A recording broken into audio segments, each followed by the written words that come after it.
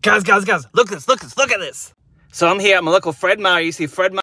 Oh, and take a look at this, guys. Just found this limited edition Tillamook ice cream. You know, campfire, peanut butter cup. Should taste like s'mores. Oh yeah, guys. Oh yeah.